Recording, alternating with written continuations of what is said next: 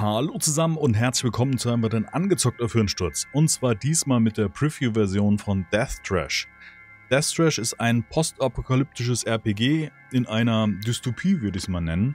Ähm, das Ganze soll Ende des Jahres erscheinen. Das hier ist die Preview-Version, die könnt ihr auch selber spielen. Ab dem 16.06. jetzt, wenn das Steam Festival startet, könnt ihr die Demo selber ausprobieren. Das Entwicklerstudio Crafting Legends kommt aus Berlin und hat mir hier den Key zur Verfügung gestellt und wir zocken mal gemeinsam in diese Demo rein. Es wird so ein bisschen verglichen zwischen Cyberpunk und Fallout. Es geht darum, die Menschheit ist durch den Weltraum gereist, um verschiedene Planeten zu besiedeln und ist auf dem Planeten Nexus gelandet mit seinen uralten Geheimnissen aus Stein und Fleisch. An jeder Ecke sieht man irgendwelche Fleischberge und Stein und es ist alles sehr düster. Deswegen warne ich schon mal vor, das ist, könnte sein, dass es nicht jedermanns Geschmack ist von der Story. Äh, mir gefällt es sehr, sehr gut. Ich mag so Dystopien. Und es geht darum, dass die Menschheit in den Untergrund geflohen ist, in die stummen Städte und das Ödland halt von den ausgestoßenen und kontrollierenden Maschinen beherrscht wird. So ungefähr. Das Ganze ist, wie gesagt, nur in Englisch. Ich versuche es so gut es geht für euch zu übersetzen. Ich mache jetzt hier einfach mal einen neuen Spielstand. Ich habe schon zwei, dreimal reingezockt, um ein paar Sachen auszuprobieren. Und jetzt gibt es hier so ein kleines Intro, ähm, der so ein bisschen beschreibt, um was es geht, dieser verlassene, düstere Planet. Und die Menschheit hat sich äh, in diese stummen Städte zurückgezogen, hat ja gerade erklärt. Und die Maschinen wandern über die Oberfläche und sind da praktisch das Gesetz, so kann man sagen. So, wir versuchen dort zu überleben die Ausgestoßenen versuchen dort zu überleben. So, wir können jetzt hier einen Charakter erstellen. Wir haben auch die Möglichkeit, die Skillpunkte im Nachgang zu vergeben. Also wenn wir an eine Stelle kommen, wo wir denken, wir brauchen zum Beispiel Empathie, können wir das machen. Ähm, wir können auch hier ähm, verschiedene Werte vergeben, zum Beispiel stumpfe Waffen. Weiß ich, werden wir brauchen. Würde ich jetzt schon mal zwei Punkte drauf geben.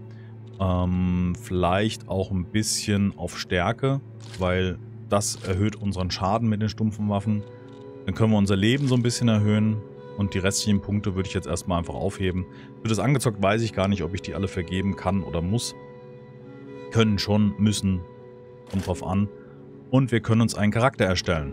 Wir können jetzt hier mal den Hirnsturz erstellen. Und können hier ein Template auswählen. Ihn finde ich ganz cool mit der Frisur. Irokesen mag ich. Und dann können wir verschiedene Körper hier drunter setzen. Mit dieser komischen alten Offiziersuniform finde ich passt ganz gut. Wir können den Kopf noch durchschalten, aber wie gesagt, der Irokese passt für mich. Hautfarbe ist völlig ausgeblichen. Ich lasse mal dieses etwas dunklere, denn für weiße Haare passt das ganz gut.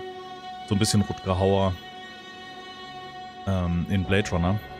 So, Akzentfarbe mache ich mal Hirnsturz Orange. Und Klamotten, ja, Back in Black. Das passt schon. Starten wir.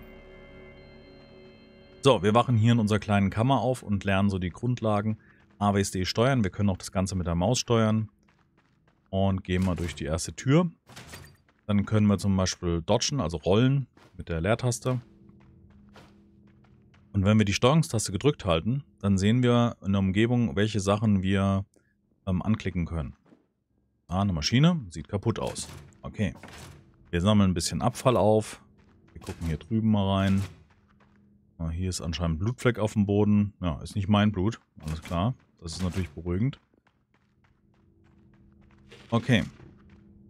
Diese Art Roboter, die beherrschen anscheinend hier diese Station, wo wir uns befinden. So, willkommen Bürger. Ähm, es sieht so aus, als wäre die Mission erfolgreich gewesen. Ähm, erinnerst du dich, wer du bist? Ähm, ja, eigentlich nicht, aber ja. Das ist erfreulich.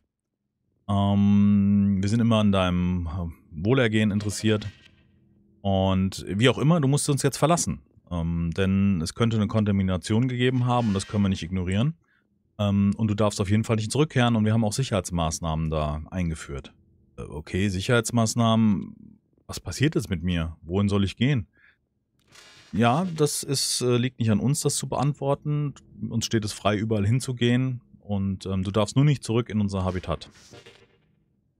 Hier ist alles Relevante. Ich habe das nochmal aufgeschrieben. Jetzt kriegen wir einen Zettel, wo alles nochmal draufsteht. Und ähm, wir sollen den Surface Integration Curse machen, also den, den Oberflächenintegrierungskurs, damit wir wissen, was an der Oberfläche passiert.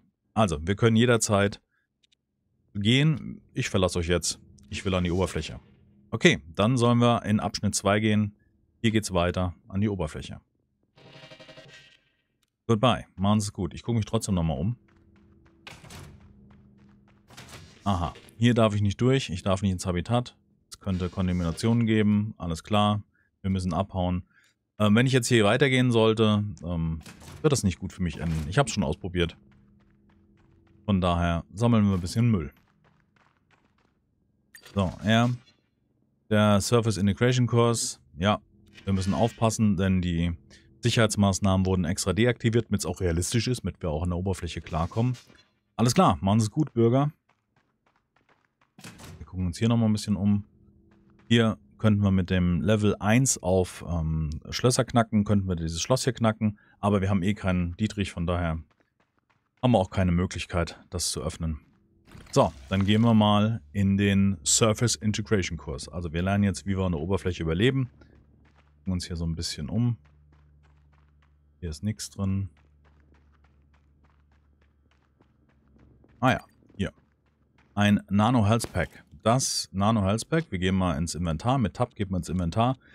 gibt uns 70 Leben hinzu. Wir sind derzeit bei 25 von 55, deswegen im Moment lohnt sich das nicht. Dann haben wir nochmal die Notizen, warum unsere Bürgerschaft hier zurückgezogen worden ist. Die können wir lesen und dann uns behalten. Wird praktisch das Inventar ähm, leerer und wir haben in unseren Notizen hier unter Wissen, ähm, können wir das nochmal alles nachlesen. Hier sehen wir auch unsere Quests, Inventar mit den verschiedenen Ressourcen, mit unseren Körperimplantaten, mit einem unbekannten Hirnimplantat und irgendwas, ähm, ja, Universal Society, aber wir wissen nicht, was das ist. Ähm, ansonsten haben wir keine Quest-Items. Alles klar. Erstmal für den Anfang sollte das reichen. So, wir ziehen weiter. Da haben wir eine Kampfweste. Die können wir uns anziehen, damit sind wir besser geschützt. Die gibt äh, 7 auf stumpfen Schaden, 10 auf scharfen Schaden und 10 auf Projektile. Und hier in dem Schrank haben wir noch ein bisschen Abfall, den brauchen wir auch nicht wirklich. Was haben wir hier? Ein, ja, es ist wohl ein Bett. Hier unten liegen Organe rum. Sehr schön, sammeln wir auf. Außerdem Fleisch, das ist halt diese Story hier von diesem Planeten. Und diese Organe bzw. Fleisch geben uns Leben, wenn wir die essen. Also wir können hier zum Beispiel 15, wenn wir 30, 40, essen wir mal hier das 15er Organ. Dann haben wir wieder, mh, hm, Crunch, schön ins Fleisch gebissen. Wie gesagt, da kann ich verstehen, wenn das nicht jedermanns, jeder Frau's Sache ist. Äh, aber ich finde diese abgedrehte Story echt cool und es wird auch nicht weniger krude. Da haben wir noch ein paar Medizinsachen und hier eine alte Werkbank, aber außer ein paar zerbrochenen Werkzeugen finden wir hier nichts. Ähm, hier ist eine Tür, die ist verschlossen und hier ist eine Maschine, die piept. Man hört es auch leise. Die Maschine äh, scheint mit der Tür verbunden zu sein. Und ähm, Please Refill Organic Lubricant, also ein organisches Schmiermittel soll eingefüllt werden. Hm, was bedeutet das? Hm, es könnte wohl sein, dass selbstgemachtes Schmiermittel hier eingefüllt werden muss. Äh, aber ich habe ja keins. Ja, was machen wir da? Wir kotzen mal eben auf den Boden. Habe ich auch einen Entwickler gefragt, äh, wie kommt man auf das? So ganz klar war es nicht mehr. Auf jeden Fall sammeln wir es auf und packen es in die Maschine. Ah, well, here we go. Die Tür geht auf. Wunderbar, aber jetzt haben wir die Möglichkeit, uns zu übergeben und können Schmiermittel erzeugen. Ich bin begeistert. So, Trash. Alte Technologien. Unsere erste Waffe, einen ähm, Holzknüppel. Den können wir mit Tab ausrüsten.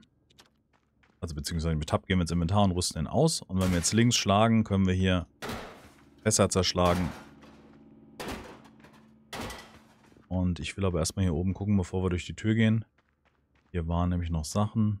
Das ist nicht interessant. Und hier noch ein bisschen Abfall. Nehmen wir alles mit. So, dann schlagen wir hier mal die Tür auf.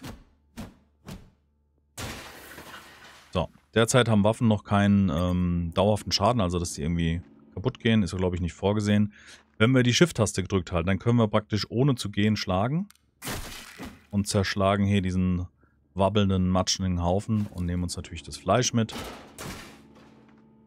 Ah, mehr gibt es hier nicht. Doch, hier gibt es noch was. Alte Technologien. Und noch ein bisschen Abfall. Und das war's soweit. Das ist halt hier so ein Training, so ein, so ein einfacher Kurs, in dem wir lernen, wie das ganze Spiel funktioniert. Jetzt haben wir eine Schrotze bekommen. Jackie wird sich freuen. Die rüsten wir erstmal aus. Und wenn wir jetzt rechts gedrückt halten, können wir hier... Ähm, also müssen wir gar nicht, wir können auch mit links schlagen. Okay. Nee, anscheinend nicht. Aber können wir es erschießen? Können wir. Bringt nur nichts. Kommt kein Zeug raus. Wir sollen auf die Lichter an der Wand schießen, hieß es. Wir laden erstmal nach. Und... So, Tür ist offen. Die Tür wird aktiviert. Die wird, war hier verbunden. Wir laden mal die Waffe nach. Und finden hier drüben unser erstes Modul, ein Stealth-Modul. Deswegen Cyberpunk. Wenn wir jetzt hier auf Body gehen, können wir dieses Stealth-Modul also dieses Unsichtbarkeitsmodul in unseren Körper einbauen. Mit der Alt-Taste können wir uns unsichtbar machen. Und dann, sobald wir das aktiviert haben und uns bewegen, wird hier ein gewisser Fortschrittsbalken verbraucht. Also bewegen, nicht bewegen, verbraucht nichts. Finde ich ziemlich praktisch. Jetzt warten wir, bis er hier rum ist. Ich mache mal die Unsichtbarkeit aus, lade die Energie wieder auf. Und jetzt ziehen wir los. Und wenn wir aus dem aus dem verborgenen Angreifen gibt es praktisch einen Bonus. Da ist noch ein bisschen Trash drin. Ein bisschen Abfall. Ähm, 26. Wir ziehen uns erstmal das hier rein. Das reicht erstmal. Ansonsten haben wir noch diesen Heilstick. Da sind nochmal Medizin. Oh. Ich tarn mich mal schnell.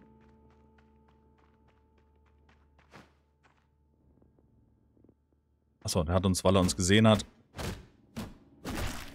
können wir uns nicht mehr tarnen. da bin ich ein bisschen stark reingerannt.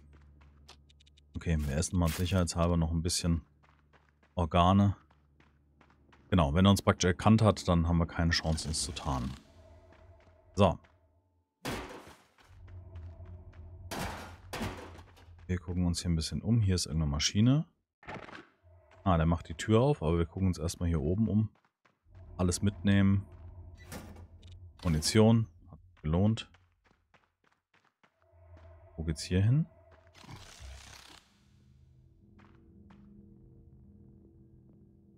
Ah, wir sind... Ah, wir sind wieder... Ah, wir sind am Anfang, wo wir mit denen gesprochen haben, ne? Okay, dann gehen wir wieder zurück. Das wäre praktisch die Abkürzung gewesen. Richtung Höhlen. So, da sind wir runtergekommen. Hier gehen wir durch. Wir sind draußen. Oh, mir geht's nicht so gut. Äh, warte. Okay. Block. Äh, ich muss erstmal... Müsste irgendwie behoben werden. Ich glaube, ich muss einen Doktor finden. Äh, der uns das hier sich mal anguckt. So, mit T können wir die Waffe wegstecken. Und dann können wir hier rumziehen. Hier liegt ein bisschen Fleisch. Und hier ist... Hä? Wer bist du? Was mache ich hier? Ja, das könnte ich dich auch fragen. Ähm, er beschützt den Fleischkragen. Äh, was mache ich hier? Ähm, ich bin hier aus diesem Gebäude rausgekommen. Was? Durch die Tür? Die funktioniert? Ja, ähm, weißt du was über die Maschinen da unten? Nee, äh, didn't know there were any. Ich weiß nicht, wo da welche sind. Äh, willst du mich verletzen? Warum sollte ich ihn verletzen? Äh, nee. Okay, zum Glück. Ähm, ich würde dich auch nicht verletzen. Ich will nur auf den Fleischkraken aufpassen. So, jetzt könnten wir mit Empathie, ne? könnten wir jetzt irgendwie mit ihm sprechen. Ähm, jetzt könnten wir zum Beispiel mal gucken. Ähm, wir können jetzt mal hier rausgehen und könnten jetzt zum Beispiel unsere Skills auf Empathie geben. War das? Hier war das. Wir haben noch zwei Punkte. Das geben wir die, deshalb geben die Punkte auf Empathie und reden nochmal mit ihm. Ähm, hatte ich das nicht, hatte ich das nicht übergeben oder wie? Ah, irgendwie habe ich es nicht festgelegt. Apply. Jetzt haben wir es. Jetzt haben wir Empathie. So, fühlst du, die, äh, fühlst du dich nicht alleine hier? Äh, ja, manchmal. Der Fleischkraken ist dein Freund, aber er redet halt nicht viel. äh, er wünscht, dass hier noch mehr Leute rum sind, äh, um, umherziehen. So, jemand muss auf den Kraken aufpassen, deswegen bleibt er hier. Ähm, ja, danke, dass du nachgefragt hast. Was ist mit dem Fleischkraken? Hm, es ist nicht seiner. Du kannst mit ihm reden. Er ist ein bisschen, ähm, äh, hat ein bisschen komische Launen jetzt die Tage. Deswegen reden wir mit, mit dem Fleischkraken mal. So, hallo Fleischkraken. Äh, fuck, ja. Okay. Rumble. Ähm, ja, das ist, ähm, was bist du für ein Tier? Tier? Ja, du bist ja nicht menschlich. Human. Ja, ich bin menschlich, aber äh, was bist du denn? Animal, Human. Okay, also ist irgendwas dazwischen. es würde passen. Das ist eine Menge Fleisch. Fleisch Lord, Living. Also Fleisch, viel, Leben. Was isst du denn? Living, Small, Big. Humans too? Also isst du auch Menschen? Okay, nur Lebendes. Was machst du den ganzen Tag? Pondering. Jetzt weiß ich nicht, was Pondering ist. Ähm, wahrscheinlich nachdenken oder sowas. About what? Life? Okay. Friendship, Society, Amusement. Also er braucht Freundschaft, Gesellschaft und Unterhaltung. Ähm, hast du Freunde? Friends, you. Ah, wir sind jetzt der Freund. Oh, yes. Friend. Search Friends. Ähm, also du willst noch mehr Freunde haben? Suche Freunde. Okay, ähm, mache ich für dich. Dann suche ich für dich mal Freunde. Also wir haben ähm, eine Quest bekommen für den Fleischkraken, neue Freunde zu finden. Okay, wir probieren das unter den Umständen. Wir gucken uns einfach mal ein bisschen um. Vielleicht finden wir Freunde für den Fleischkraken. Jetzt habe ich mich getarnt, weil ich auf Alt gekommen bin. Können wir hier irgendwas abbauen? Steuerung wollte ich eigentlich drücken, aber das ist nur der Fleischkraken. Da ist was. Hexenfinger. So, irgendein Kraut meine ich, ne? Wird das hier irgendwie erklärt? Eine Crafting-Ressource. Hier noch was? Nö, Sackgasse. Uh, you can save the game. Okay, wir können speichern. Machen wir mal einen Quick Save. Kann nicht schaden, ne? Bevor jetzt hier irgendwas schief geht. Wir haben ja die freie Wahl, wo wir hingehen können. Was ist hier? Hier was? Hier ist was. Okay, keine Idee, was das ist. Hier ist noch Abfall. Nehmen wir mit.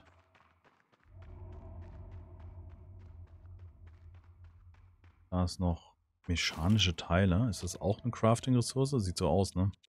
Ja.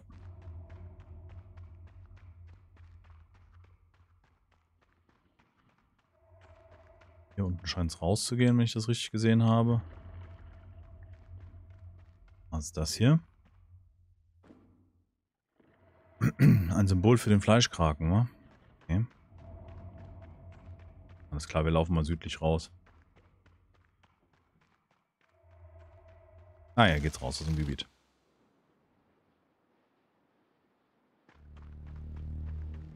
So, wir sind außerhalb. C, Equipment. Was können wir jetzt machen? Achso, das ist einfach nur die Erklärung, dass wir da we wechseln können. Hm. C. Gut zu wissen. So. Äh, oh, da läuft jemand. Gehen wir ein bisschen weiter weg. Mit M haben wir eine Karte und sehen, wo wir ganz grob sind, was wir erforscht haben.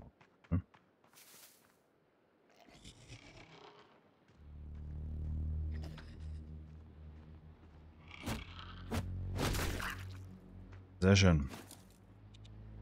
Organe und Trash.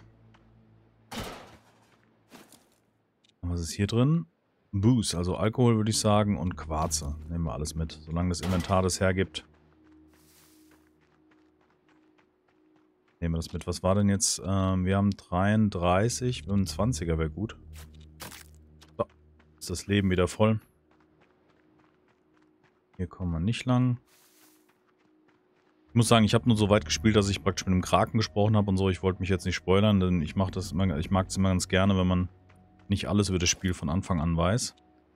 Äh, hier gibt es irgendwelche ähm, Scout-Commands, also ähm, Anweisungen für einen ja, ein, ein, der sich umguckt. Ah, Knowledge Fragments.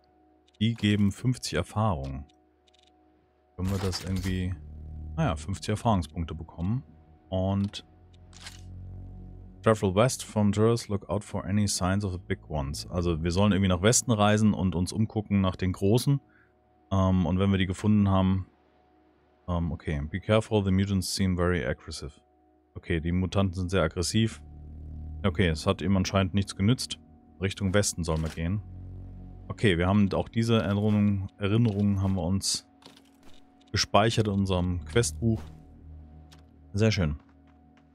Ja, wir sollen nach Westen. Ich weiß nicht, ob es hier noch mehr gibt. Ich denke mal, wir werden dem Pfad folgen. Da geht es nicht weiter. Da ist noch... Ähm. Ein nackter Mann. Ähm, hallo alter Mann? Ah, guck dich an. Du hast Klamotten an. Äh, ja, Klamotten sind sehr praktisch. Ja. Ja, ernsthaft? Hier, meine Dancing Skills. Toll. Du kannst tanzen. Ich ähm, feiere die Sonne. Ja, alles klar. Ähm, hast du eventuell Interesse an einem Fleischfreund? Ah, du meinst dieses große Fleischmonster in dem Tempel? Hm, nee, hat er nicht. Na gut. Hat er sonst noch was zu sagen? Please leave me alone. Ja, ja, ja. Brauchst du vielleicht ähm, Hilfe? Na, okay. Er tanzt für das Fleischmonster, äh Quatsch, äh, für die Sonne. Und kann ich mich noch tarnen? Ja, kann ich. Gucken, ob es reicht, bis da ranzukommen. Oh, das sind ja zwei. Äh, schwierig.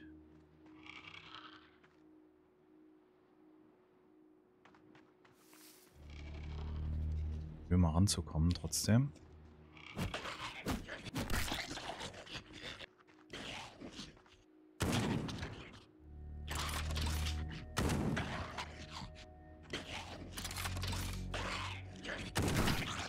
Okay.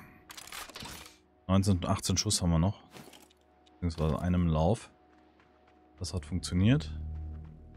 Den anderen untersuchen wir auch noch. Ah, Organe. Sehr schön. Bisschen Energie. Hier haben wir Zikon. Okay. Dass wir doch noch mal hier lang gegangen sind, bevor wir nach Westen weiter sind. Okay, diese Tonnen sind anscheinend nur Barrieren. Mechanische Teile. Können wir daran? Können wir nicht. Gut, gehen wir mal nach Westen, würde ich sagen, oder? Ich meine, bei so einem RPG, was Story getrieben ist, ist es natürlich ähm, ähm, Story-driven, ja. Fast wieder eins zu eins übersetzt. Ähm, ist hier irgendwas? Ach, hier sind wir rausgekommen. Ja, wir sind wieder am Anfang. Ähm, ist natürlich immer schwer, jetzt bei so einem angezockt das alles zu zeigen. Haben wir noch so einen Hexenfinger. Aber es geht ja auch um den Ersteindruck. Und ich finde diesen Grafikstil von dem Pixel Art schon fast künstlerisch in Verbindung mit dieser sehr abgedrehten Story und dieser offenen Welt, die wir erkunden können. Ja, jetzt haben wir eigentlich so gut wie alles entdeckt. Ähm, eine coole Sache. Ich mag halt diesen kruden Humor. So, wir sind hier beim Krakentempel. Hm, wir laufen jetzt einfach mal so ein bisschen weiter. Können wir auch hier nach oben laufen? Ah, ja, wir können uns frei bewegen. Wir sehen auch hier, wo überall Demo steht. Das ist wahrscheinlich das Gebiet, wo wir uns aufhalten können. Ja, wir gehen mal bis hierhin. Da geht es nicht weiter. Gucken, ob wir noch irgendwas finden. Da ist was aufgetaucht. Okay, dann ab dahin.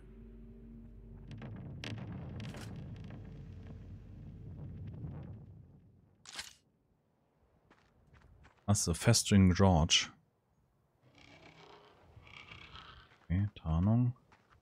Da sind mechanische Teile. Bin mal gespannt, ob wir die später an irgendeiner Werkbank noch verarbeiten können. Aber ich gehe fest davon aus. Da geht es wieder raus. Wir gehen jetzt erstmal den Rand ab. Ich sagen. Nein. Oh. Sicherheitshalber Matan. Da ist schon jemand. Und da ist auch jemand, okay. Ich würde sagen... Oh, scheiße, er hat uns gesehen. Shit, ich dachte, ich würde hinter der Mauer stehen.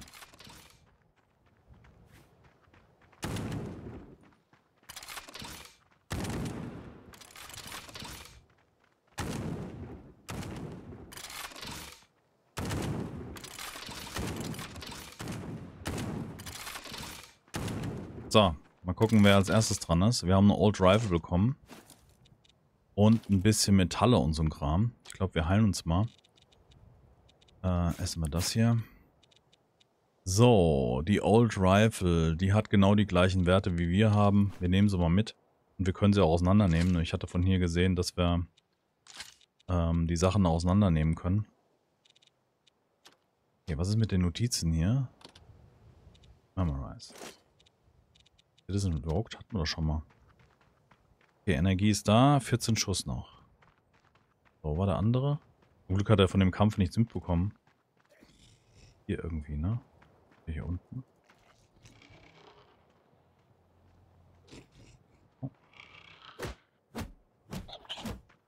Man sollte halt nicht ihm direkt vor die Füße laufen.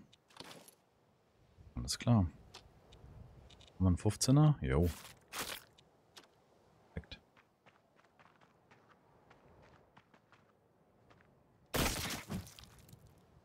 Kommen die ganzen Viecher raus. Da gibt es wieder Fleisch. Habe ich das Vieh gerade eingesammelt? Nee. Was ist das? Ah, wieder Zirkon, wieder irgendwelche Inkredenzien zum Basteln. Da ist nochmal Zirkon.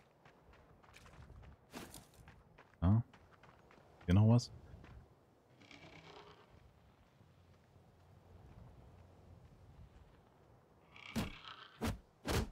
Oh, was hat der denn? Oh, der ist explodiert. Okay. Daher auch regelmäßig abspeichern. Ich verstehe. Okay, der hat anscheinend gespeichert, als wir hier in der Stadt angekommen sind. Man sollte ab und zu mal das Quicksave verwenden, deswegen hat er das ja am Anfang auch erklärt. Okay, dann dürfen wir uns jetzt nochmal mit dem Typen auseinandersetzen. Ich gehe jetzt erstmal nach unten, mal gucken. Müsste ja dann hier irgendwo sein. Ich glaube, dass man, wenn man den auf ein gewisses Level nach unten geprügelt hat, genau, dass man ähm, dann abhauen muss. Weil er explodiert halt. Jetzt. Ja, das war das. Ionische Sachen. Was haben wir denn hier bekommen? 39, das heißt 15. Haben wir was mit 15? Haben wir. Gut. Nachgeladen ist auch.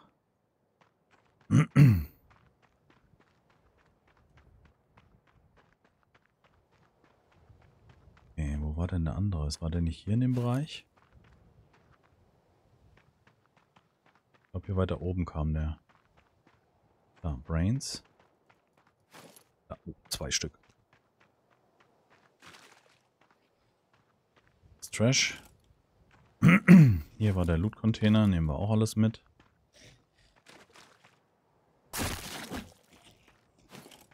Okay, da steht er zwei. Yes. Ist doch nicht. Mal kurz in Deckung gehen.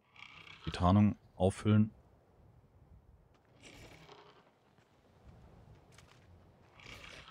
Oh shit.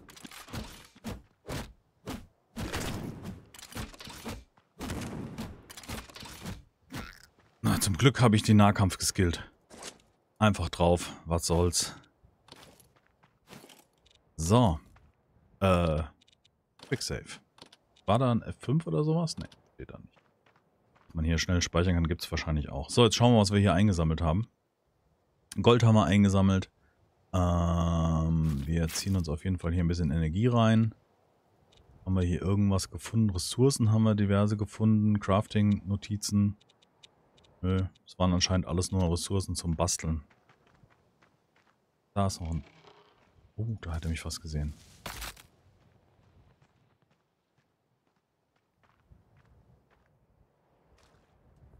Mal gucken, wie er sich bewegt. Oder ist hier noch ein zweiter?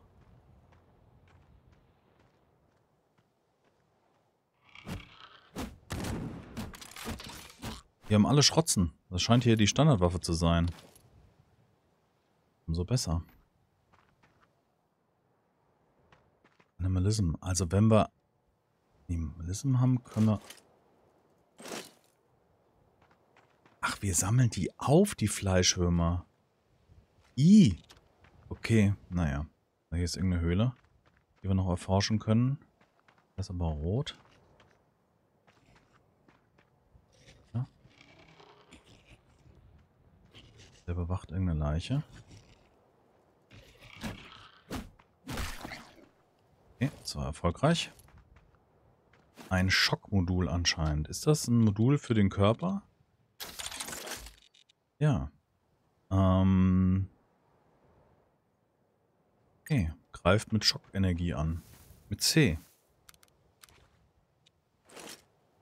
Ah, und das können wir mit F auslösen, wa? Ja, alles klar. Das ist praktisch das gleiche, wie wenn wir auf den Boden spucken und das können wir halt entsprechend dann auslösen. Ja, eine... Schrotze haben wir noch vergessen. Okay. Die sind aber beide nicht besser, ja. Also ihr seht, um was es geht. Es ist ein sehr düsteres, ein sehr ekliges, ein sehr blutiges und steiniges RPG. Mir gefällt es persönlich sehr, sehr gut. Ich habe jetzt halt mal ein bisschen reingezockt, um euch den Start davon zu zeigen. Ähm, ich hoffe, es hat euch gefallen. Ähm, und äh, wenn es euch gefallen hat, dann würde ich mich über einen Daumen nach oben freuen. Schreibt doch mal in die Kommentare. Steht ihr auf so Dystopien? Mögt ihr solche kruden Sachen? Ich finde es fantastisch und freue mich drauf, wenn die Vollversion erscheint. Vor allem dann auch mit deutscher Übersetzung, weil gerade bei so einem RPG, wo es um Story geht, finde ich es dann doch persönlich ein bisschen angenehmer. Ähm, ich verstehe zwar einen guten Teil davon, aber so hundertprozentig bei manchen Worten bin ich da auch nicht. Ähm, deswegen finde ich es in Deutschen immer spannender. Aber soll ja auf jeden Fall kommen. Wurde schon versprochen. Wenn ihr Bock habt reinzuspielen, spielt am Mittwoch rein, dann soll es die Demo geben auf Steam. Link wie immer in der Videobeschreibung. Und bis zum nächsten angezockt. Macht's gut, bis dahin. Tschüss.